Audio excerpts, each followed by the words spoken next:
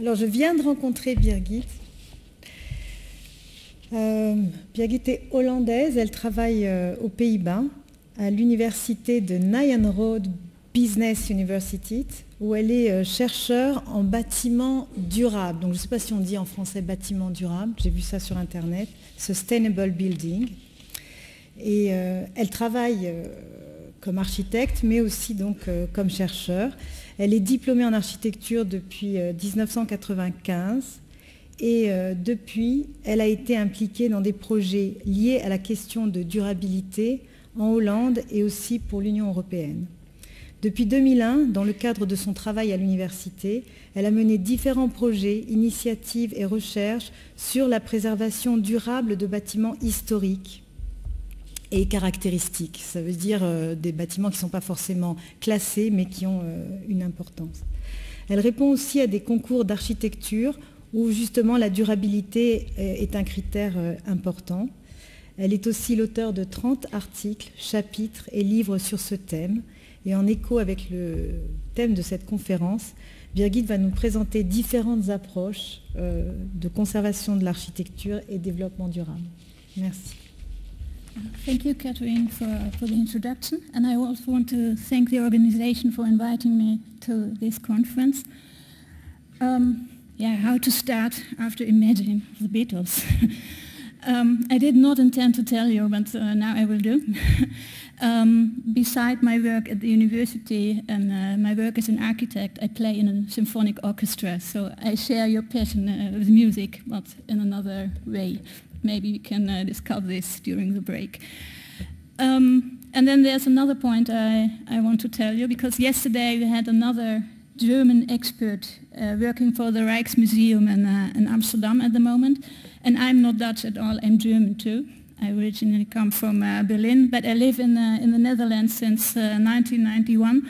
And I just want to mention that, of course, this is not representative. There are a lot of Dutch experts in the Netherlands, so that is pure accident that we have two Germans here representing uh, the Netherlands. Um, as you can see, I, uh, I, work at the Business University. I'm uh, educated as an architect, so what am I doing at the Business University? I, I, worked for a long period as an architect and didn't want to work at a university at all because normally architects are not interested in a, in a PhD research. They just want to design buildings and that is what I wanted to do for many, many years and still I'm, I'm doing that. But then I got the opportunity to, to work at Nyenrode Business University and it was very interesting because in my practice as an architect and also during my education at the Technical University in Delft, I learned that we can develop a lot of brilliant technical solutions and concepts and uh, whatever materials. And then we have to see that they're not applied. Or they're applied only in a few pilot projects and that's it. And we always wonder why are those brilliant technologies and materials and uh, concepts not applied on a, on a larger scale?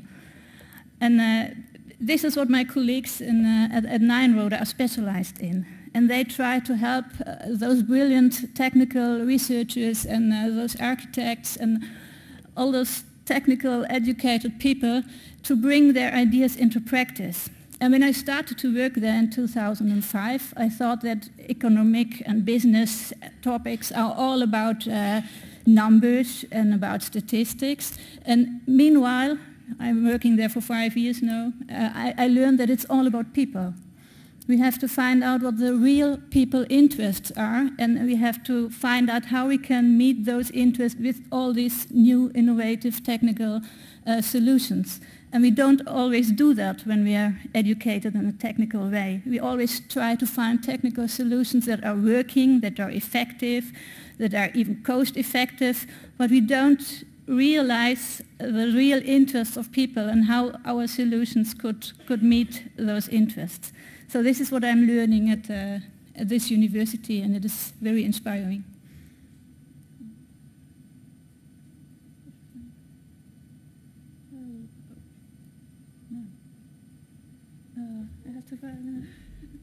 Bertrand? Yes. Okay, finally found. um, it's uh, when we work at Nyenrode, we always uh, connect different disciplines. We say if we uh, work only with uh, conservation experts, uh, only with uh, sustainability experts, then we agree within a minimum of time, immediately we agree, but we achieve nothing. So we have to combine all the disciplines to, to really apply those technologies and, and, and to bring them into practice. And um, I'm working for the Center of Sustainability. We work with several uh, competence centers at this university. And the Center of Sustainability is part of the Center for Entrepreneurship and Leadership. And uh, one of my working fields is uh, cultural heritage management and sustainability. So we combine the disciplines uh, heritage management and sustainability. And when I ask the heritage experts, what is the first thing you want to share with sustainability experts? What should they know about your discipline? They come with uh, Georg Dehio and Alois Riegl. Sorry, German again. and uh, they tell me that uh, still is influencing uh, the, the work of architectural heritage management in the Netherlands. Uh, she said years ago, many, many years ago, uh, we have to uh, give priority to conservation and not to restoration because restoration with new materials and new techniques will cause a loss of materials and even if it's similar it's not the same. So conservation before restoration. And not all the sustainability experts do know that. And uh, the other one is Alois Riegl, who also influenced uh, the, the, current uh, ideas about heritage management in the Netherlands and many other countries, I think. Uh, the value analysis. They tell me it's all about values. So what are the cultural values, the historical values of, uh, of the building, where you want to apply your technique, your solution, your new materials. You have to analyze the values before you do anything else. Uh, in the Netherlands, the state agency for cultural heritage management, maybe you know them as the, the Rijksdienst voor Cultureel Erfgoed, uh, they handle five criteria for the value analysis of heritage buildings nowadays.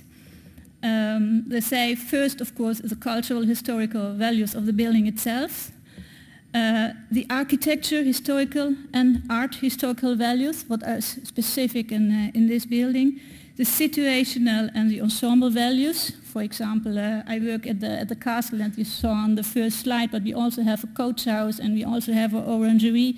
And all those uh, buildings belong together. It's an ensemble, so this can be uh, an extraordinary value too.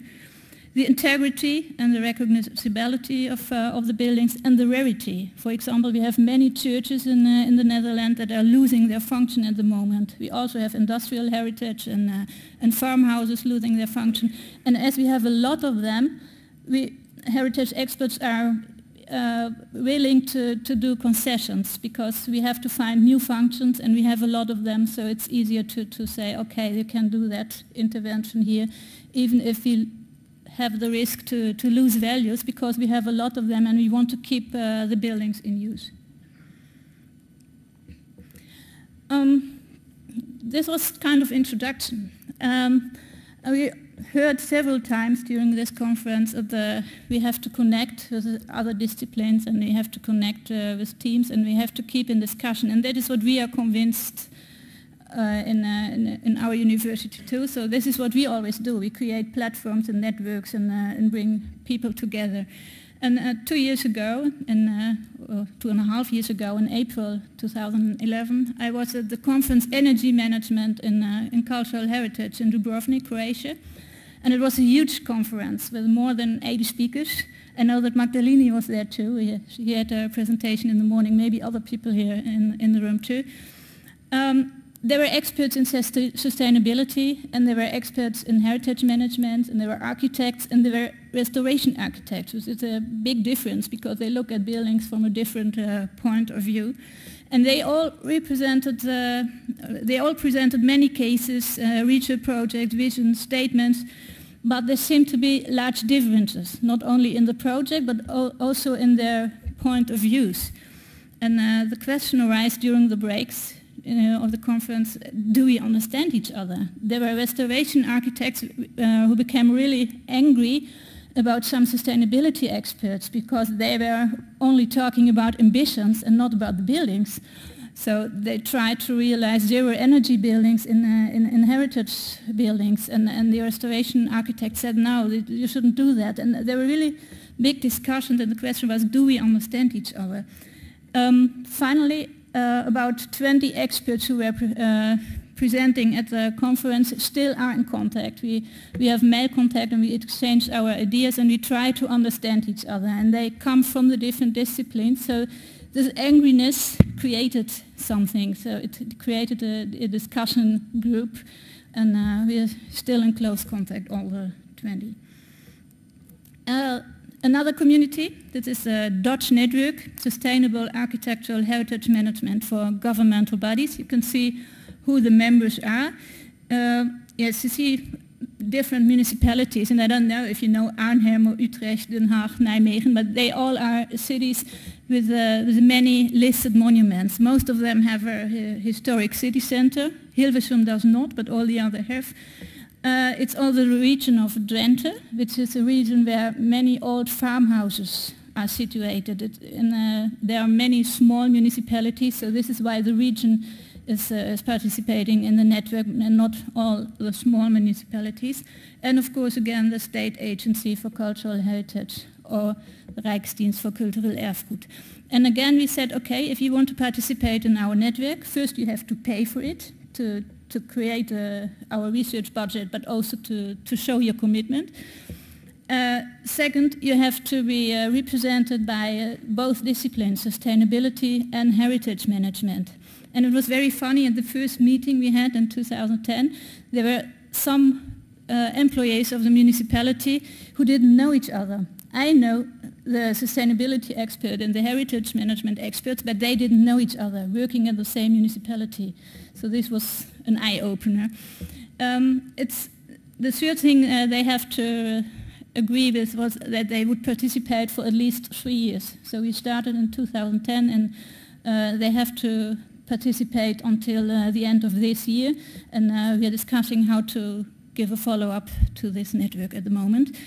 So within those years, uh, a close group was created, and uh, we had a lot of discussions. We are not always agree, but it's not necessary. Sometimes uh, one has a point of view which is situated here, and another one here, and all the other participants of the network can find their positions in between. But we have those discussions, and this is useful uh, of this uh, network. And when the network started, it took about two or three months and I got the first emails by business companies who asked, can we join the network? And we want to pay, that's not the problem. And I said, oh, but it's a network for governmental bodies, so we have to, to ask if, uh, if they agree. And they did not. They said no. Then, uh, then a company comes and tells us, we have a ventilation system that can be applied in all heritage buildings, and we are not waiting for this because then they are using us for their commercial uh, purposes. So we did say to, to, uh, to those companies, no, you cannot participate in the network for governmental bodies. But there still other companies sent us mails and uh, we had a restoration fair in, uh, in Bosch where different companies were, and they also asked us, can we join the network? And we said, no, you cannot. But finally, because there were so many questions, we decided, okay, we can uh, create another network. We created a second network for companies and, uh, and foundations. And uh, in this network, they only have one question, and this is, what does a government consider as equality? That is really the question that is uh, the most important uh, for this group. And this was an eye-opener for, for the governmental uh, network, of course. And now there is an exchange because it is a group now. It's not only one company who wants to sell uh, a certain product or, or, concept. Now it's a, it's a group and then it's interesting for the other network too. Now those three groups, the international group of the conference of uh, Dubrovnik and the both uh, Dutch two networks, we had those discussions and we thought it seems that there are different approaches how we uh, deal with uh, cultural heritage buildings and sustainability. And uh, maybe we can uh, try to, to formulate them and, uh, and, and to share it with each other and to discuss about it. And uh, we define them as follows. the first approach is the building is leading. So the architectural approach, is it called too? What is possible in this individual building? What are the characteristics of this building? What are the values of this building? And this is a starting point to find solutions, uh, sustainable solutions for this building. The second is called the systems approach. What is possible in this time of buildings. As Magdalene told, she is looking for solutions for churches. I did uh, research about uh, heritage school buildings. So we have certain groups and maybe it is possible to find uh, solutions for this type of buildings. And the third one, an approach that is driven by ambition, how to achieve the predefined ambition in this individual building. And when I had a talk before this presentation with Catherine, she, she told me, yeah, I understand the two, the first and the second uh, approach, but what the hell is the third approach? And I said, oh, it's mostly about energy saving ambitions. It's about uh, an architect who wants to realize a zero energy building or a passive house uh, concept or a certain uh, carbon emission reduction within a certain period. It's mostly, these are energy ambitions that are predefined by sustainable architecture specialists before. Um, we shared those ideas in a survey and we got uh, 51 uh, reactions coming from uh, 12 countries and uh, all those respondents shared their ideas about and their experiences with these approaches with us. First of all, the majority, 38 uh, respondents, recognized them. They said, yes, that is what I see in, uh, in my practice. Uh, there were a few respondents who didn't answer the question and, and, and a few who didn't, who said, uh, no, we don't uh, recognize it. And there were two respondents who, who added a new approach. One was uh, saying the function is leading, especially for reusing projects, especially those churches, industrial heritage, farmhouses, when we have to look for, for a new function, then we have to do other decisions and we have to make those concessions that I was talking about first. So this is another approach. And uh, another respondent said, yes, and there's also the report, uh, an approach where the location is, uh, is leading. And with location is leading, he didn't mean uh, the, the local uh, climate. He, he meant the buildings around the heritage buildings. So can we exchange energy? For example, if you have a church in, in the center of, of a city, we have often we have shops or we have offices around it, and all the offices and shops use their air conditioning while we are thinking about how to heat the church. Couldn't we exchange uh, energy within uh, several buildings? So it's it's not really lo location; it's more a neighborhood or an area approach. Um, maybe it's not surprising for this public, but uh, the majority prefers uh, the architectural approach. 29 of the respondents prefers this approach, but remember we had 51, so it's it's a majority, but there are a lot of respondents who did not give priority to, to this approach. Um, there were two respondents who mentioned two approaches, the systems approach and uh, the architectural approach as their favorite uh, approaches. But in addition, 16 other respondents said, uh, I prefer one of those, of the or the architectural approach or the systems approach, but I see opportunities in the other one too. So I'm open-minded for the combination of the architectural uh, approach with the systems approach. And we thought this would, offer, this would offer possibilities for sustainable concepts for certain groups of buildings respecting the values, of course, of, of the heritage buildings. Uh, the respondents were also asked to give uh, additional comments on the survey if, uh, if they want to. And uh, we clustered their uh, comments in, in, 10 top, in 10 topics. I have to read them. does a choice for the best approach depend on the specific situation of the building or should the different approaches be used in different project phases? There were respondents who said we should always start with the architectural approach, with the analysis of the values, and then we should uh, look for a system solution for sustainable concepts that fits to this type of buildings. But there were also respondents who said it the other way around. They said, no, we first have to look for a systems approach for sustainable concepts, and then we have to, to look at the building itself.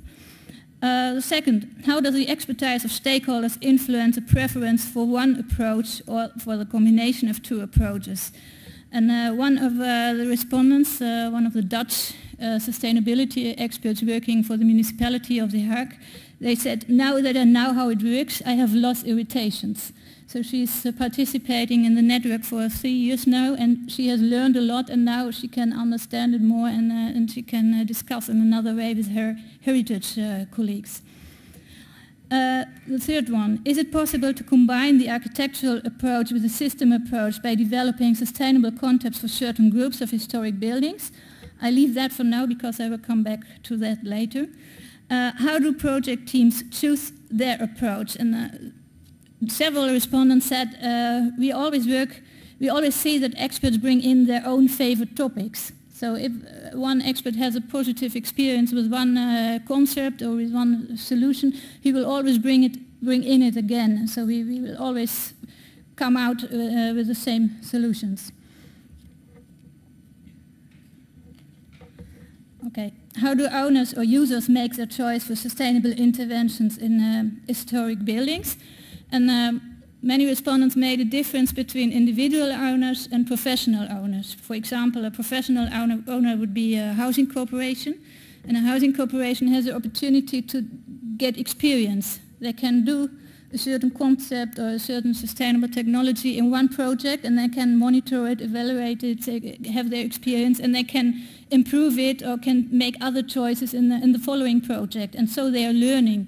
Individual owners normally have one opportunity to choose their solution. And they're influenced by, uh, by other people of course. And, uh, and in many cases, these are not sustainability experts or heritage experts, but these are their family or their friends.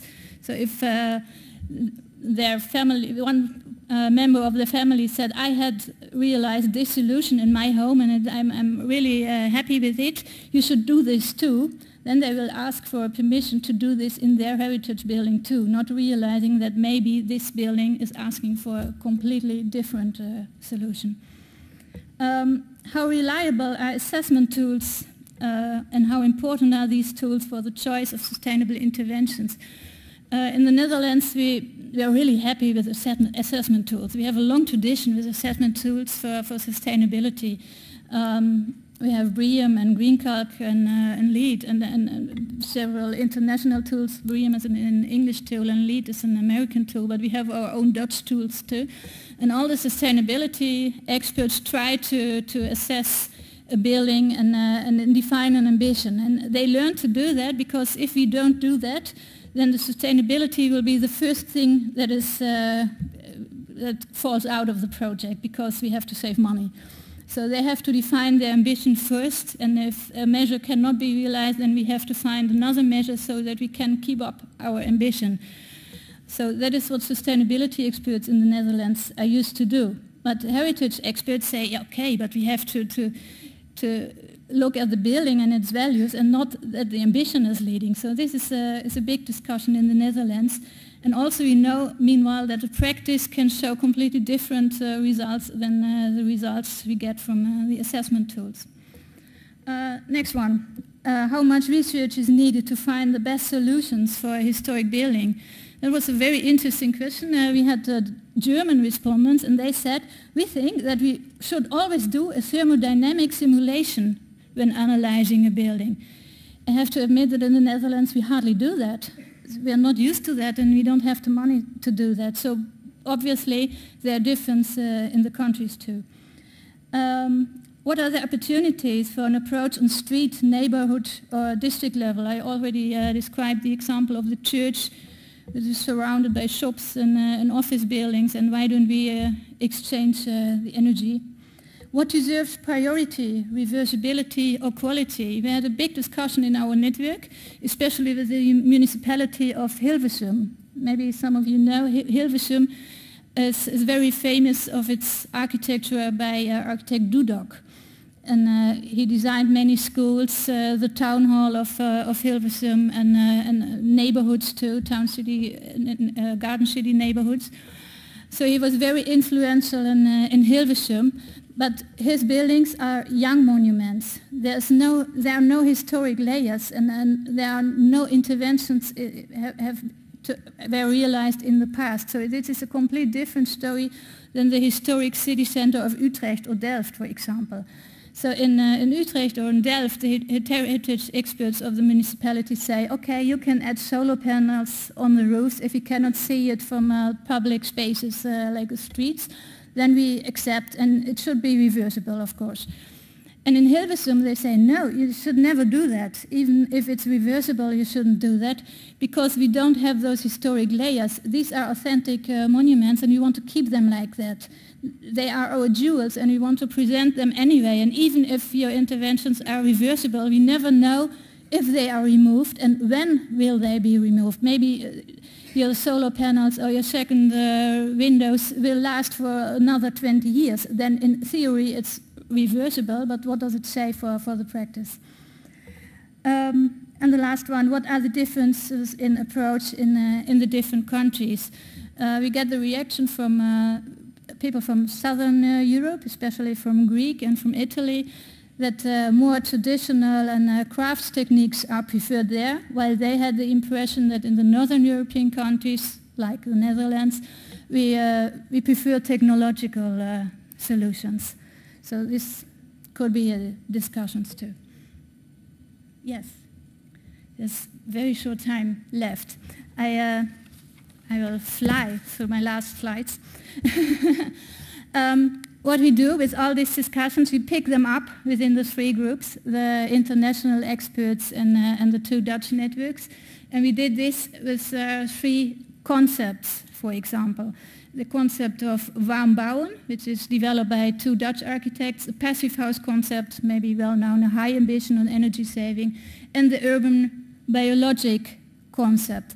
And they we said a concept should be something that has a, a vision behind. It's not only a, a, combination of measures, there must be a vision behind and it must be a cross-project. So very short, this is a warm bouwen concept. Um, uh, now, I don't read all that. I just tell you that uh, in this concept, the, the, thermal mass of the building is, is used. It's a very central element in this building. And the, the architects install water, pi water pipes in, uh, huh? I don't know, what did I do? uh, I don't know. Um, escape, yes, thank you.